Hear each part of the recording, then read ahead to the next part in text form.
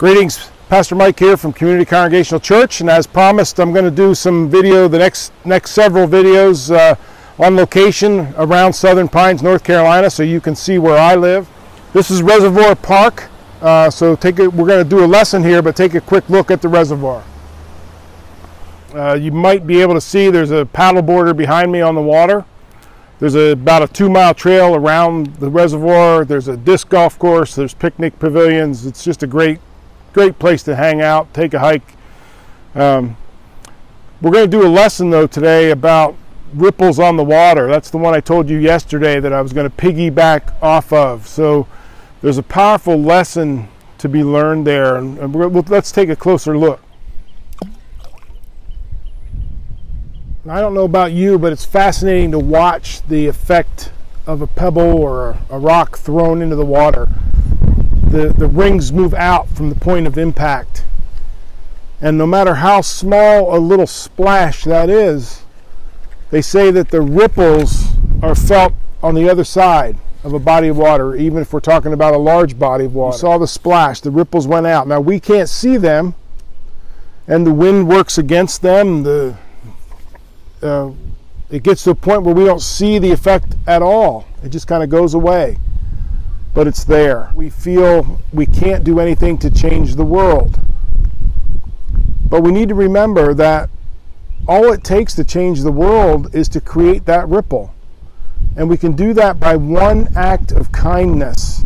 I love the phrase random act of kindness. And I, really do look to do those because it's a lot of fun, first of all.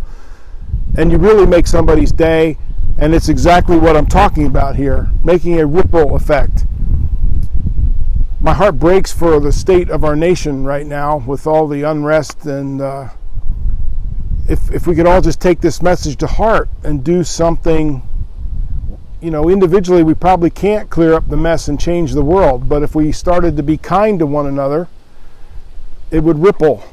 And hopefully the person we were kind to then because of the mood we put them in is kind to someone else. And before you know it we will have changed the world Scientists call this the butterfly effect, the, or the ripple effect, that, that uh, a butterfly's flapping its wings uh, is felt around the world. And you, we could argue all day long whether or not that's true or, uh, or not, but the bottom line is let's be kind to one another.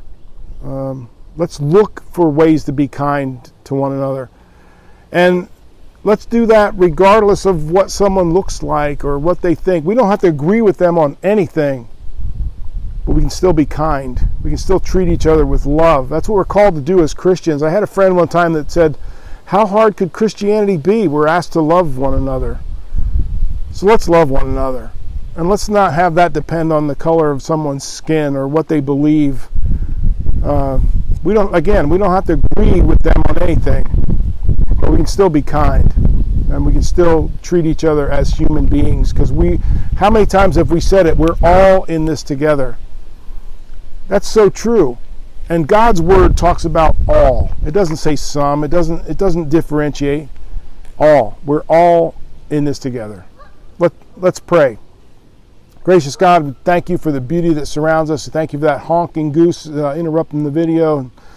Uh, we just praise you for the beauty that surrounds us. And Lord, we ask you to help us. Help us to treat one another hu- humanly. Help us to love one another, to be kind to one another. Uh, and in doing so, we'll cause a ripple that will indeed change the world. And we thank you for that, and we praise you for that. In Jesus' name, amen. Hang in there, everybody. Uh, be safe, be healthy, be kind. I'm going to add that now from now on. but uh, love you.